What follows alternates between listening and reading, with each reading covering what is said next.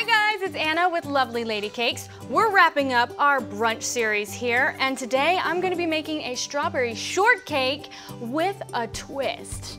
Let me introduce to you some of my friends chefs here. Bryan David. Hello folks, I'm celebrity chef Bryan David Scott, luxury coffee specialist. Yay! Mary, welcome. Thank you. I'm Mary Moran from Hail Mary Food of Grace. Yay. So exciting to be here and see what you're making. Oh, awesome. I'm stoked. I love a great strawberry shortcake. So what's the twist? All right, close your eyes. Oh, okay. Close your eyes. We're gonna do I'm glad you picked him and not me. a smell I'm test not as good a sport. You got your nose ready? I got my nose ready. Sniff this. What does it smell like to you? That smells like the most amazing lavender in the world. Ding, Is it ding, lavender? Ding, ding, ding, ding. It's really good for brunch. And uh, all your friends will be like, it's a little bit savory and sweet. They'll love it. So let's begin. To begin, we have some all-purpose flour. Pour that on in. Some sugar, baking soda, a little bit of salt. The very last ingredient, Mary, is our dried lavender. Okay, she is gonna be stirring up all these ingredients. That looks good. That looks great. Well, that was And then next, to bind our, our little cakes, we have cold butter. This is uh, like a great crust. If you checked out Mary's quiche earlier, she made a homemade crust as well. Ooh, it's so Flaky, good. buttery. That was awesome. And she uses the same technique. Can I use my hands for this one? Yes, so she's gonna be using this Okay, method. they are it's washed. called cutting in the butter. All right. She's using her her thumb and her pointer finger to incorporate the butter and it's gonna start looking like cornmeal or um, breadcrumbs, just incorporating the butter and that flour really well. We'll keep on working over here. We're right. gonna come over here to Bryan David now. He's gonna chop up my strawberries for me. We've Be got very some happy fresh to do that. Beautiful strawberries. I've washed them, cleaned them, organic strawberries, and um, just give me dice, diced up. You got it.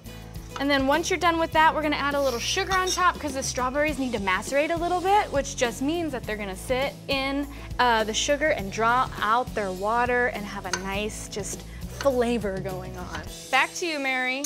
We need our egg. Am I still mixing with my hands? You still gotta go, girl. With the egg? Yes, egg, and we have one half cup of milk right here. Oh. I love it. So she's just gonna mix this up. Oh, that is so gooey. The trick is, is don't overmix it. Let's give it you know, Oh, thank God. a little more flour. You want me to help you? We got, yeah. Okay. I'm gonna flour down and then I'm just gonna kind of coat the whole bad boy. I love those Kind of- specks in there. The lavender looks Yes. so pretty. Just gonna coat it so now I can hold it like a bow. I know, it's really gooey, but it's gonna taste so good. And you're just literally patting it down with your fingers. Okay. Do, do, do, do, do, do, do. So, next, to make those little cute round shapes, Yep. uh, you could use a cookie cutter, Mhm. but I'm gonna get a little crazy and use this cup. So I just like to dip it in some flour first. And we're just gonna make little circles, super easy. So we're just gonna place that on the cookie sheet. You can just see the flakiness of the butter. We're gonna bake these at 425 degrees for 12 to 14 minutes until they have a nice golden brown. Um, but before we do that, I like to put an egg wash on there. If you wanna get even crazier, I'm not gonna do this today, but you could even sprinkle some sugar on top. Ooh. All right, now let's bake these bad boys in the oven.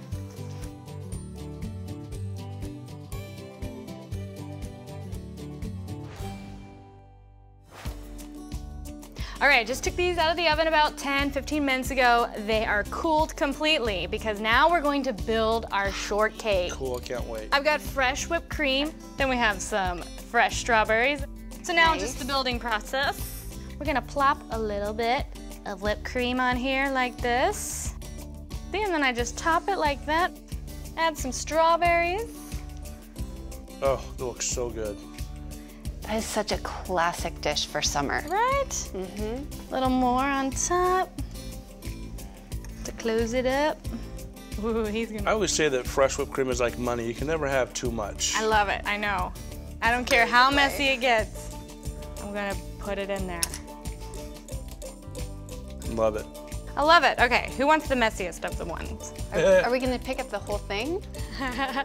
we're gonna hold it. I don't know that we're gonna eat it. Here we go. One, two, three. Cheers! Cheers! That's really good. Shut the front door. You eat this in the backyard. That's really awesome. Then you can hose off your your pit, your friends when they or come children. Mm, or your children.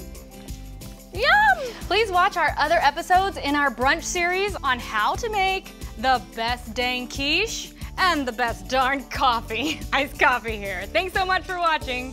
Bye. Cheers, everybody. Bye.